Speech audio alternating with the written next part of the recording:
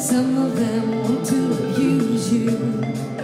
Some of them want to be out.